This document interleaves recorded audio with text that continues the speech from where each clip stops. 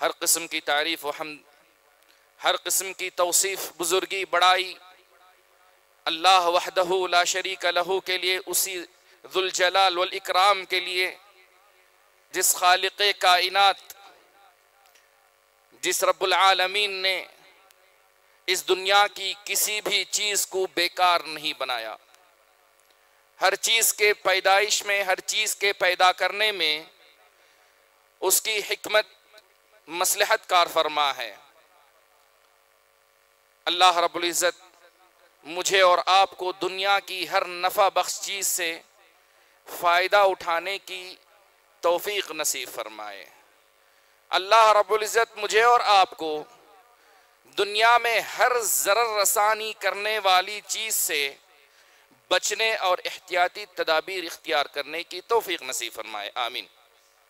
फिर दरुद सलाम हो मोहम्मद रसूलुल्लाह सल्लल्लाहु अलैहि वआलिहि वसल्लम पर अल्लाहुम्मा सल्लि वसल्लिम मुबारक अला रसूलिका मुहम्मदिन व अला आलिहि व सहबिहि अत्तय्यिबीन अत्ताहिरीन व मन तबिअहुम बिहसान इला यौमिद्दीन हाज़िरीन जुमा बुज़ुर्गों नौजवान साथियों प्यारे बच्चों पर्दा नशीन ख़वातीन इस्लामी माँ और बहनों जैसा कि आपने खुतबे का उनवान न सुना न देखा है उनवान ही बिला उनवान है। खुतबे का कोई उनवान था, नहीं दे, नहीं दिया गया था। क्योंकि मुझे उस टॉपिक पर बात करनी है जो नज़र नहीं आती है। जो नज़र नहीं आती है। मेरी मुराद, अल्लाह की मखलूक़ात में से एक ऐसी अजीम मखलूक भी इस दुनिया में रहती है, जिसे हम जिन और शैतान के नाम से याद करते हैं। जिन किसे कहा जाता है अरबी जबान का एक लफ्ज है, जन और जिन। उस चीज़ को कहा जाता है जो गैर मरई ओझल होती है निगाहों से ओझल हो, नज़र में ना आए, उसे जिन कहा जाता है। जन्नत, सुना है नाम? अल्लाह मुझे और आपको बगैर हिसाब, बगैर अदाब के जन्नतुल फिरदौस में दाखिल फरमाए। आमीन।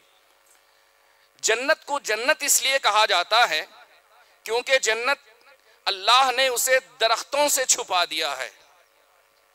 दरख्तों से छुपा दिया है। और उसी तरह से मादर रहम में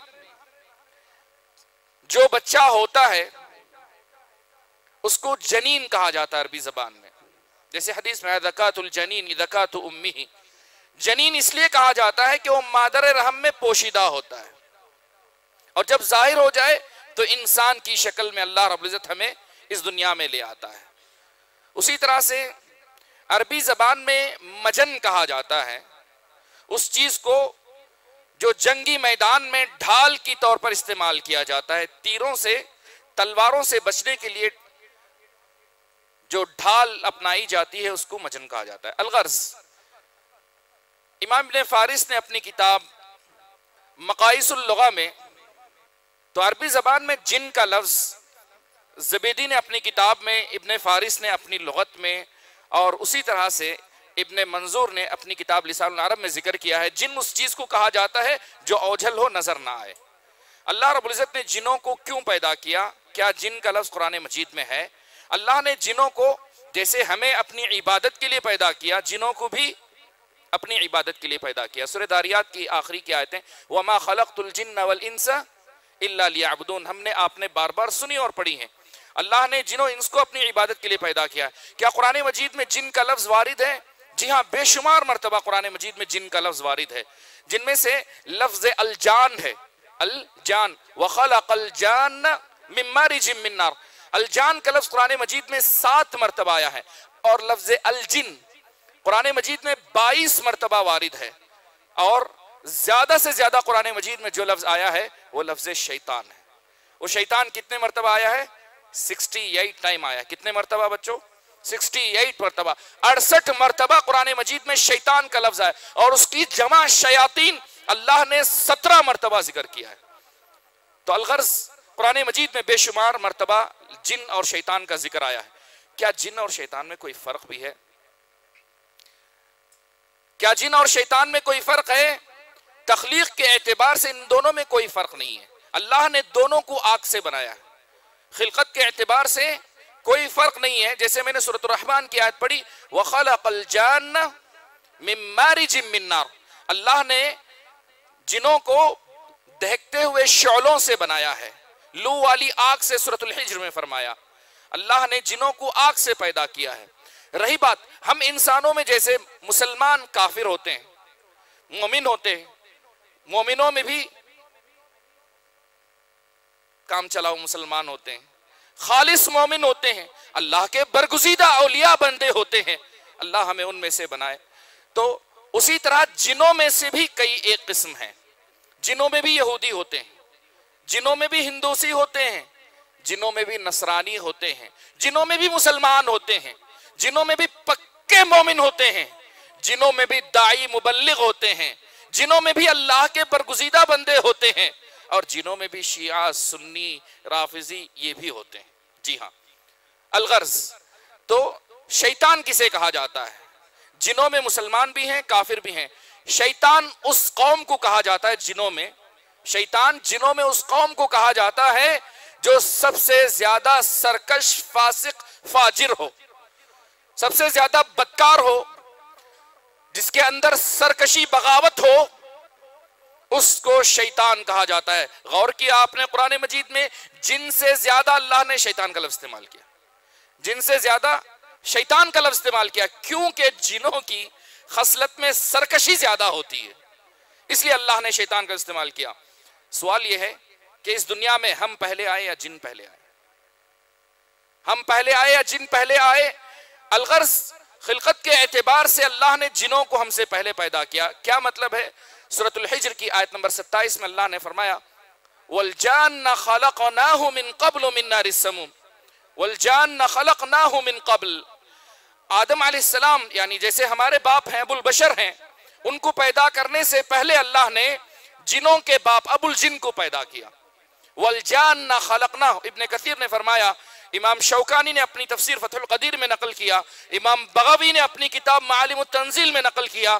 यहाँ वलजान न खलक ना से मुराद, जैसे इंसानों के बाप आदम हैं, उसी तरह जिनों के बाप अबुल जिन को अल्लाह ने इंसानों से पहले पैदा किया। अलगर्स जिन्नात की वजूद का इनकार बाज लोग करते हैं। कहते हैं, ये भूत प्रेत, ये जिन्नात ये शैतान कुछ नहीं है। भूत प्रेत के ताल्लुक से मैं नहीं बात करूँगा। लेकिन क्या जिन है, नहीं है। क्या जिन है, नहीं है। क्या शैतानी रूहें।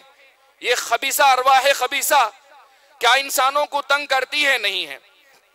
जहमिया और मुतजिला मुसलमानों में से दो ग्रोहों ने इनकार किया।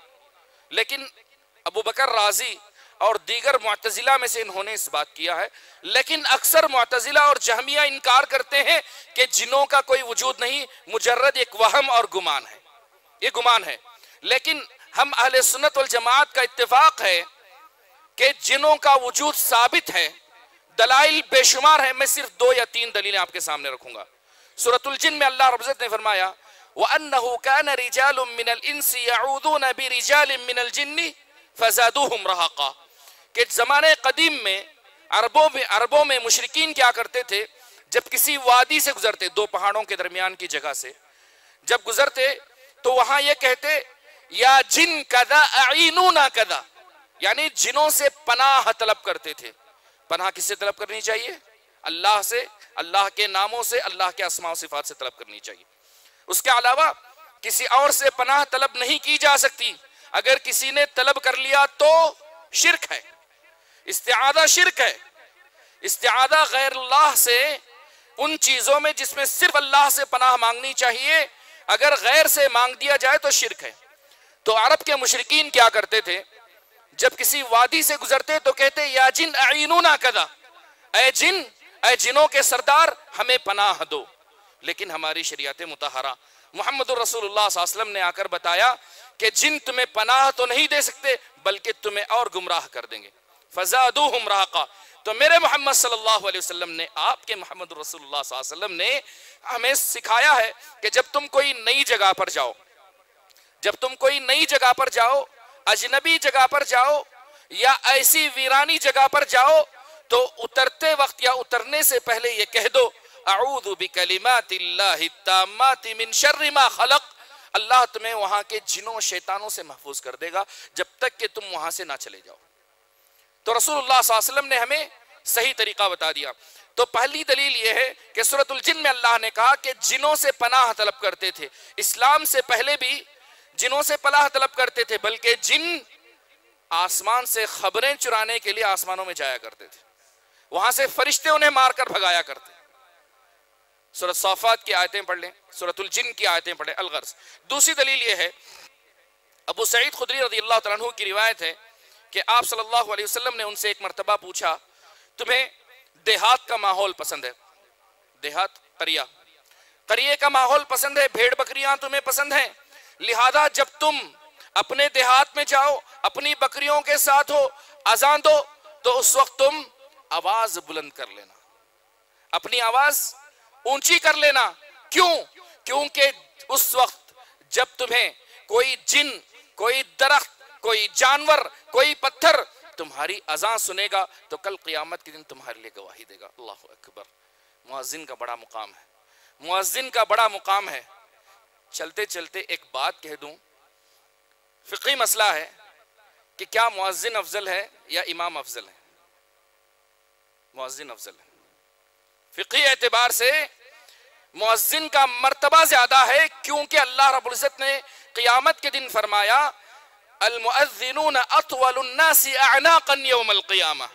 कल क़ियामत के दिन मुआजिन की गर्दनें लंबी होंगी। क्या मतलब है कि उनका मुकाम बहुत ही ऊँचा होगा? इमामों का अपना मुकाम है मुआजिनों का अपना मुकाम है, अलगर्ज। तो जब तुम देहात में हो तो रसूल वसल्लम ने कहा, आवाज़ बुलंद करके अजान दो, क्योंकि जब कोई जिन सुनेगा तो कल क़ियामत के दिन तुम्हारे लिए गवाही देगा।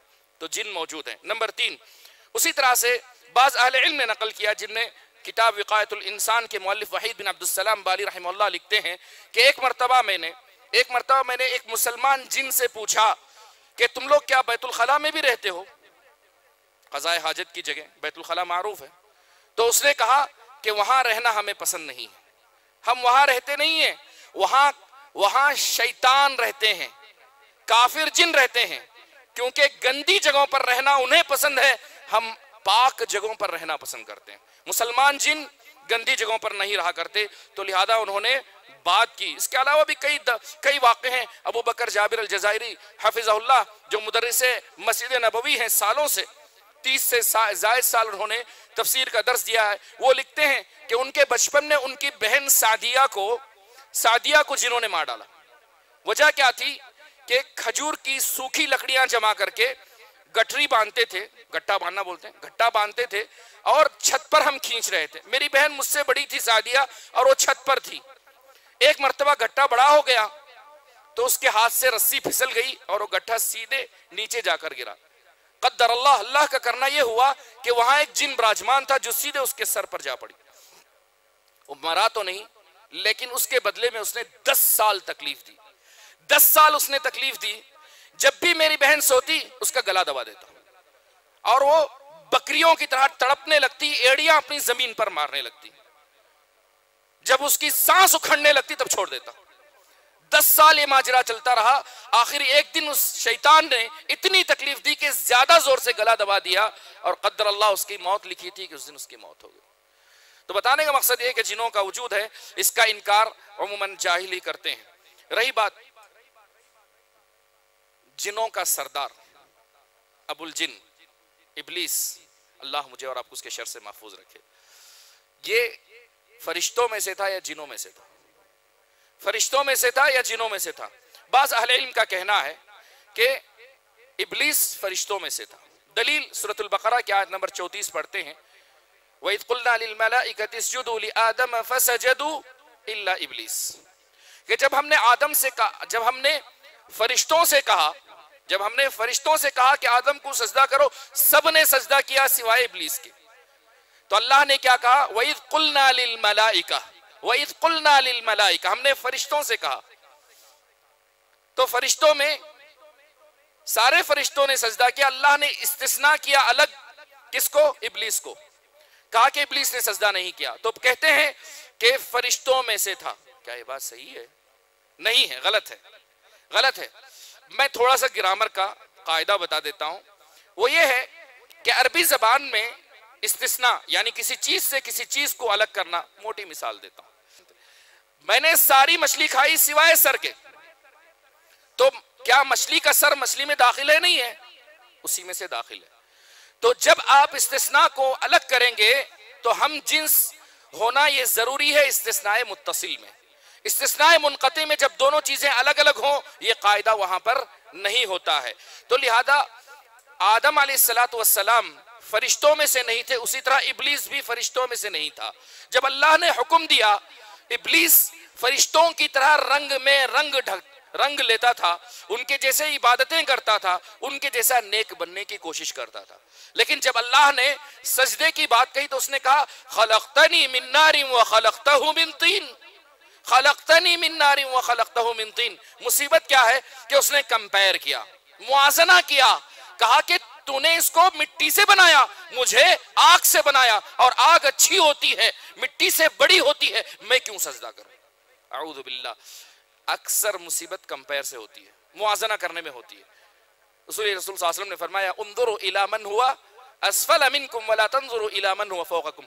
दुनियावी मामलात में अपने से नीचे वालों को देखो अगर नीचे से नीचे वालों को देखोगे, जिनके पास कपड़े नहीं है, खाने के लिए सारी सहूलतें नहीं है, रहने के लिए अपना परमानेंट घर नहीं है, अल्लाह की नेमत का शुक्रिया अदा करो। कहोगे कि दो बेडरूम का घर भी अल्हम्दुलिल्लाह अल्लाह की नेमत है, अपना है। ये नहीं कहोगे कि चार बेडरूम विल्ला चाहिए, ये नहीं कहोगे। ये नहीं कहोगे कि बंजारा हिल्स में चाहिए। कहोगे कि अल्हम्दुलिल्लाह जहाँ दी अल्लाह ने छत है, मस्जिद के करीब है, इबादत के लिए सही है। उन्दुरो इलामन हुआ अलगर्ज। जिन्नों में से नहीं था, फरिश्तों में से था, इसकी दूसरी दलील क्या है?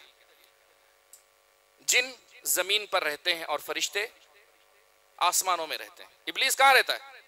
इबलीस इस दुनिया में रहता है, इस ज़मीन में रहता है, लेकिन फरिश्ते आसमानों में रहते हैं। दूसरी दलील, जिन झूठ बोलते हैं, झूठी बातें कहते हैं, फरिश्ते कभी लायासुन अल्लाह लायासुन अल्लाह कभी झूठ नहीं बोलते, कभी कोई गुनाह नहीं करते। अल्लाह जो कहता है, फ़ौरन वो बजा लाते हैं। जिन झूठ बोलते हैं, इबलीस झूठ बोलता है, कैसे पता चला आपको? वो रिवायत मशहूर है ना? जक़ात में सुनते हैं आप लोग।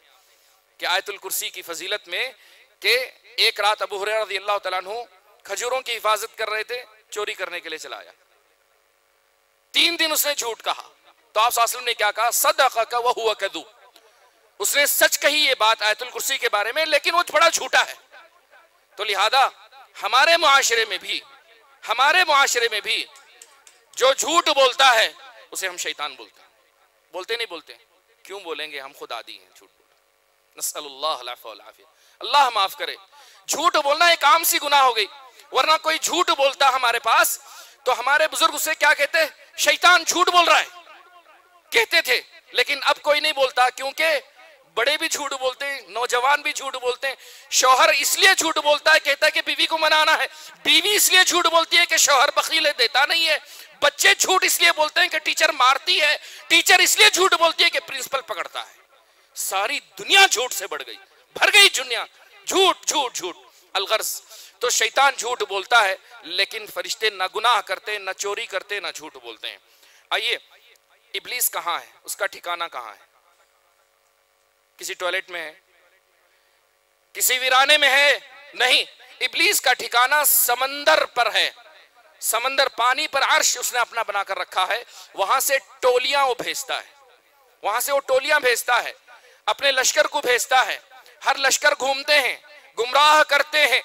अगर किसी ने सबसे अच्छा काम किया तो उसको सबसे ज़्यादा शाबाशी मिलती है। अपने करीब बिठा लेता है, वज़ीर बना लेता है। वो कौन है? वो शैतान है, शैतानों में वो शैतान है, जिसने दिन भर में किसी मियाँ बीवी को लड़ा दिया, दोनों को जुदा कर दिया तो शैतान उससे सबसे ज़्यादा खुश होता है। अल्लाह मुस्तान। शैतान की क्या ज़रूरत है? खुद हम लड़ लेते हैं। कप इधर क्यों है? लड़ाई। ये साफ़ क्यों नहीं है? लड़ाई। कपड़े आयरन क्यों नहीं है? लड़ाई। आपने चाय की पत्ती क्यों नहीं लाई? लड़ाई। आप बाज़ार क्यों गए? लड़ाई। आप अपनी अम्मी के घर क्यों गए? लड़ाई। ऑफ़िस से देर क्यों आए? लड़ाई। रजीम। अल्लाह ने कहा, शयातीन वल जिन। जिनों में भी शैतान है तो इंसानों में भी शैतान है। नौजुबिल्ला अल्लाह हमें उनसे महफूज रखे। रही बात, सवाल, क्या इबलीस अब तक ज़िंदा है? या मर चुका है? इबलीस ज़िंदा है, जैसे आदम सलाम अभी ज़िंदा नहीं है। इस दुनिया से रुखसत हो चुके हैं। तो इबलीस अब इस दुनिया में है, नहीं है? है। क्योंकि अल्लाह रबुल्जत ने उसने सूरतुल इसरा की एक आयत में कहा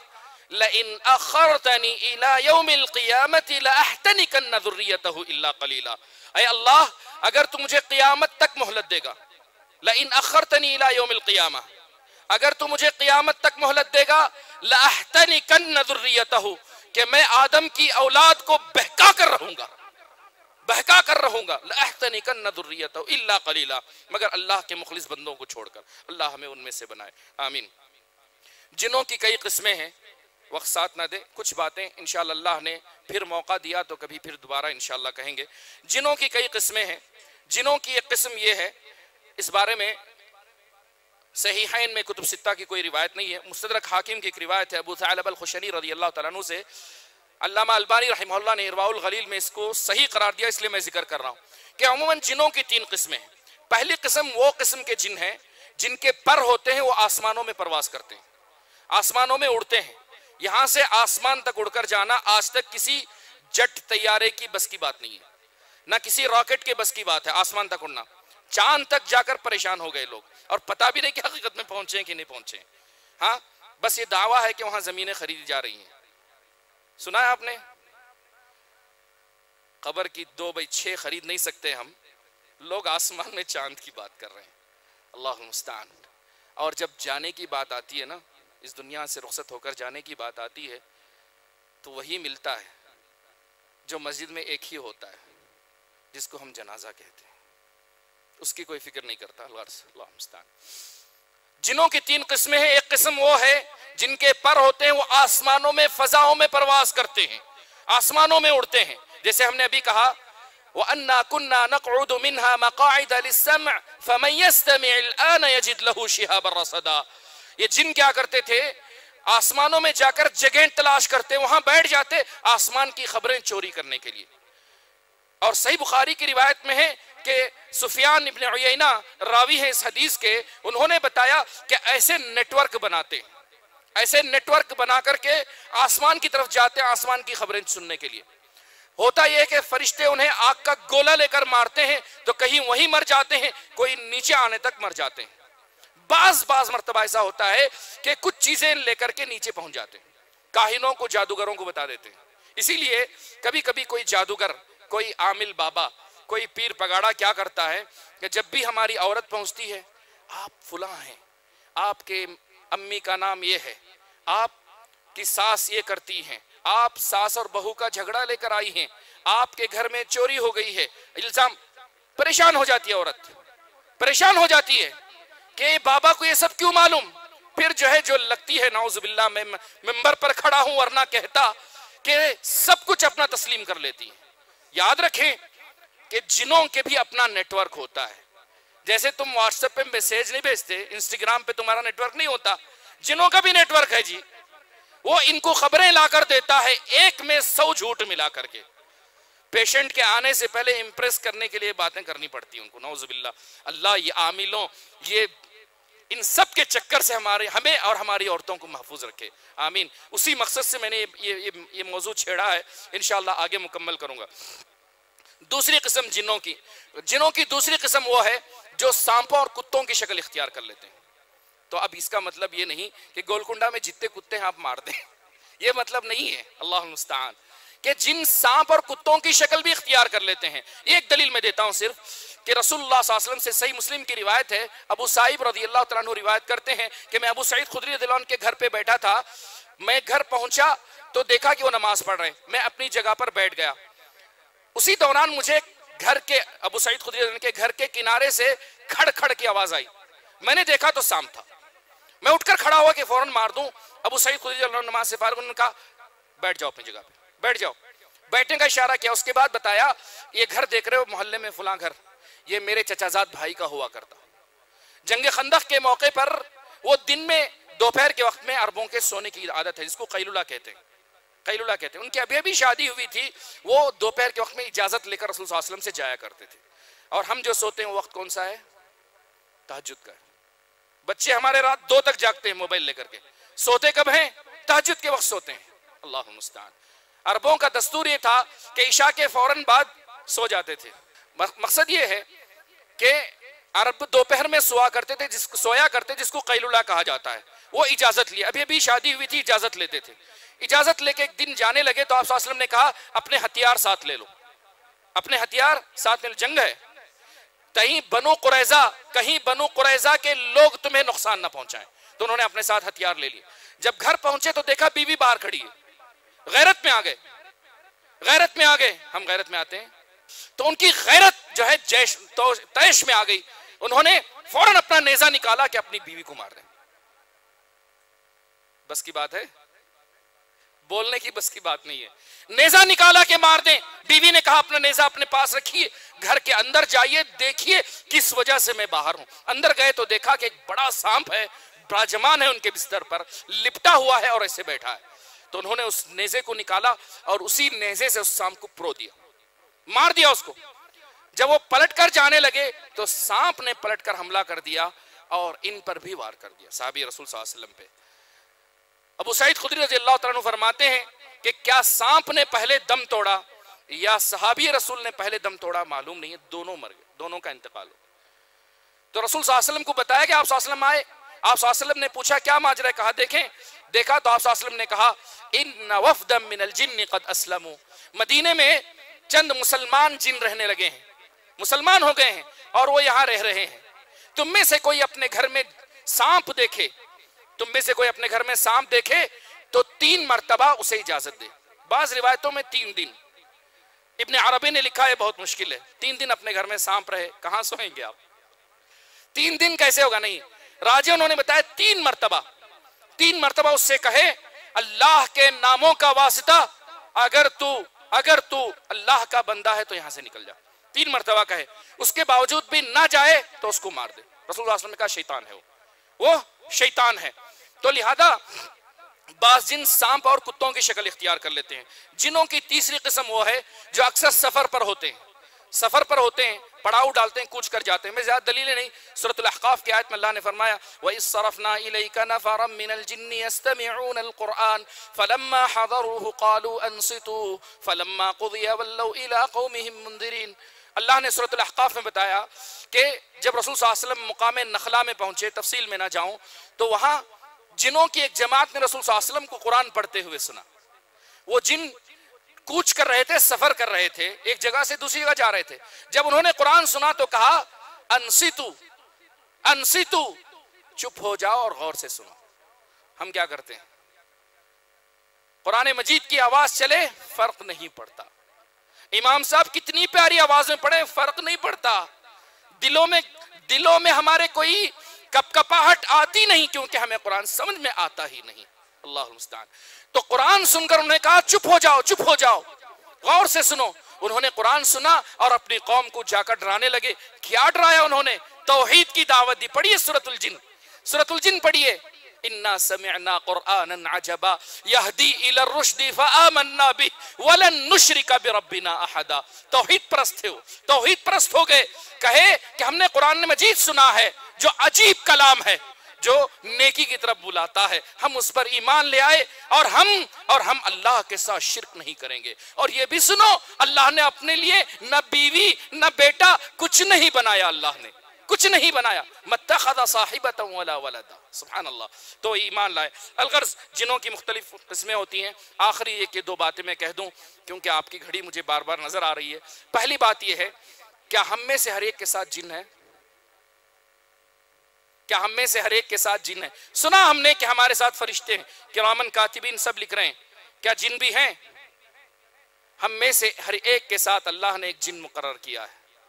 हम में से हर एक के साथ अल्लाह ने एक जिन मुकर किया है। अब घर में जाकर अपनी बीवियों को यह ना बताएँ, वरना वो कहेंगे आप आए क्या आपका जिन आया हुआ है। हाँ अल्लाह ने सही रिवायत है अब्दुल्ला बिन मसूद रदी अल्लाह तु की सही मुस्लिम की रिवायत है। आप ने फरमाया मामिन्ना मिन अहदिन इल्ला वक़द उकिल लहु करीनुहु मिनल जिन। हमें से हर एक आदमी के साथ अल्लाह ने उसका एक साथी जिन मुकर किया है। साहबा इकराम ने पूछा, अल्लाह के रसूल सल्लल्लाहु अलैहि वसल्लम वो या रसूल अल्लाह क्या आपके साथ भी जिन मुकर है? तो रसूल ने कहा, वो आई मेरे साथ भी मुकर है। इल्ला कद लेकिन अल्लाह ने मेरी मदद फरमाई, उस जिन को मुसलमान बना दिया। उस जिन को मुसलमान बना दिया। तो लिहाजा वो मेरी बात सुनता है। वो मेरी बात सुनता है। उससे मशहूर रिवायत है, जब कोई इंसान नमाज़ खड़े तनहा खड़ा हो, तनहा खड़ा हो तो उसको क्या करना चाहिए? आड़ रखकर, सुतरा रखकर नमाज़ पढ़ना चाहिए। अगर रख कर ना पड़े कोई गुजरे तो सामने से रोकना चाहिए। रोकना चाहिए, ये सुन्नत मफूद है। रोकना चाहिए, अगर ना रुके तो धक्का देना चाहिए। अलगर सही बुखारी से मुस्लिम की रिवायत है। मुस्लिम के एक अल्फाज हैं कि आप ने कहा फल फल धक्का दे। अगर नहीं मानता है, झगड़ा तो झगड़ा सही। क्योंकि आप वसल्लम ने कहा फ़िन करी न शैतान उसका जो दोस्त शैतान है, उसे उभार रहा है। कह रहा है कि नमाज़ तोड़ के जा। कह रहा है कि नमाज़ तोड़ के जा। अलगर्स, रसोल ने कहा, उसके साथ उसका दोस्त शैतान है अलगर्स बेरे कैफ, आखिरी जो बात कहनी है मुझे, जिनों के फैलने का वक्त क्या है?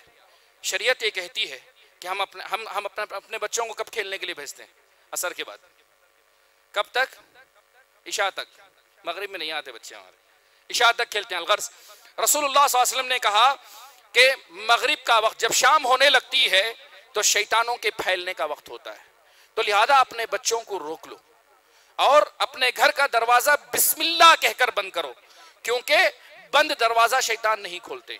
जब घर में दाखिल हो तो बिस्मिल्ला कहकर दाखिल हो। जब खाओ तो बिस्मिल्ला कहकर दाखिल हो, क्योंकि शैतान आपके साथ आता है। और जब आप वालेकुम बोलकर दाखिल होते हैं तो शैतान कहता है, यहाँ दाखिला, हमारी एंट्री नहीं है। जब आप बिस्मिल्ला बोलकर खाते हैं, शैतान कहता है, ना लॉजिंग है, ना बोर्डिंग है इधर। हाँ ना खाने को है, ना रहने को है, यहाँ से चले जाओ। बिस्मिल्लाह कहकर खाओ। बिस्मिल्लाह, अलगर्ज। शैतान से बचने की कुछ एहतियाती तदाबीर। सबसे पहले सुबह शाम अजकार में मशगूल रहें, नमाजें पढ़ें, शैतान आपको कुछ नुकसान नहीं पहुंचाएगा। नंबर दो, शैतान और जिन से पनाह मांगे अऊदबिल्लाजीम करीम सुल्तान कदीम मिन शैतान रजीम। अऊदबिल्लामिन शैतान रजीम, पढ़ लो, ये भी काफ़ी है। उसी तरह से सूरतुल्बकरा की तिलावतें अपनी घर में हो। बार बार तिलावत हो, जिस घर में सुर बकरा पढ़ी जाती है, उस घर में शैतान दाखिल नहीं होता। उसी तरह से सोते वक्त आयतुल कुर्सी की आदत करवाएँ, खुद पढ़ें, बच्चों को आदत करवाएँ। बच्चे उस वक्त तक ना सोएँ जब तक आयतुल कुर्सी मुआवदतैन कुल अहद ना पढ़ें। खुद दम कर लें, पढ़ करके इस तरह फिर अपने सारे जिसम पर बच्चे, एक दो बार आप, दस बार आप सिखा दें, बच्चे खुद करना शुरू कर देंगे। उसी तरह से शैतान का कभी भी वसवसा हो तो शैतान से पनाह मांगे। घर में दाखिल होते वक्त निकलते वक्त घर की दुआ पढ़ें। अस्सलाम वालेकुम दाखिल हो। निकलें तो बिस्मिल्लाह, तवक्कल तो बिल्ला क्योंकि सही आदि से सारी चीज़ें साबित हैं। आखिरी में एक चीज़ है, जिसकी हम कोताही करते हैं, वो ये है कि दिन में कम अज़ कम सौ मरतबा। कितने मरतबा? सौ मरतबा। बोलेंगे, शेख, हम नमाज़ के बाद के सोच नहीं पढ़ते सुबह अल्लाह अल्लाह नहीं पढ़ते। नमाज़ होते ही भाग जाते हैं हम। अस्तफरल्ला तो दिन में सौ मरतबा, ला ला शरीक लहु, लहुल मुल्क व लहुल हम्द व हुवा अला कुल्ली कदीर। सौ मरतबा पढ़ ले, कोई शैतान आपका कुछ नहीं बिगाड़ेगा।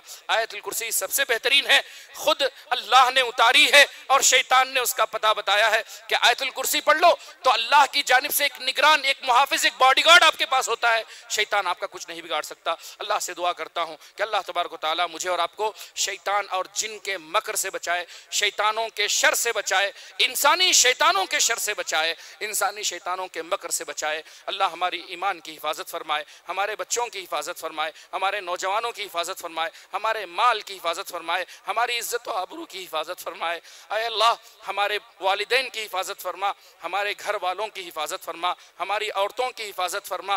अल्लाह, हमारे दीन की हिफाजत फरमा, हमारे दीन को बिकाऊ न बना, हमारे औरतों के ईमान को मज़बूत फरमा, वो किसी बाबा के पास ना जाएँ किसी आमिल के पास ना जाएँ, खुद अपना इलाज अपने घर में करें, अपना रुकिया खुद अपने घर में करें, अपने बच्चों को नेक बनाएँ, कुरान का हाफिज बनाएँ, कुरान पढ़ने वाला बनाएँ। अल्लाह हमें नेक हिदायत ता फरमा। अल्लाह हमें जब तक इस दुनिया में रख, ला इला मोहम्मद रसूलुल्लाह पर कायम रख। और जब इस दुनिया से रुखसत फरमा तो शहादतें के साथ रुखसत फरमा। और जब हमें इकट्ठा फरमा तो रसूलुल्लाह वसल्लम का उम्मती बनाकर इकट्ठा फरमा। अल्लाह हमें कब्र के अजाब से बचा ले दो के अजाब से बचा ले। अल्लाह जन्नतुल फिरदौस में बगैर बग़ैर हिसाब अजाब के दाखिल फरमावे। आमीन। अल्लाह जो हम में कर्जदार हैं, उनके कर्ज़ों को दूर फरमा। अल्लाह जो हम में बीमार हैं तो उन्हें शिफाए कामिला, आजिला अता फरमा। अल्लाह जो हम में परेशान हाल है, उनकी परेशानियों को दूर फरमा। अल्लाह जो तिजारतों में परेशान है अल्लाह उनकी तिजारतों में बरकतें अता फरमा। जो अपनी ड्यूटियों में परेशान है, अल्लाह उनकी ड्यूटियों में आसानी अता फरमा। अल्लाह जो अपने घरों के माहौल से परेशान है, उनके घरों को दीनदार बना दे, उनके बच्चों को नेक बना दे। आमीन। अक़ुल कौली हादा। व अस्तग़फिरुल्लाह ली व लकुम व लिसाइरिल मुस्लिमीन फस्तग़फिरूहु इन्नहु हुवल गफूरुर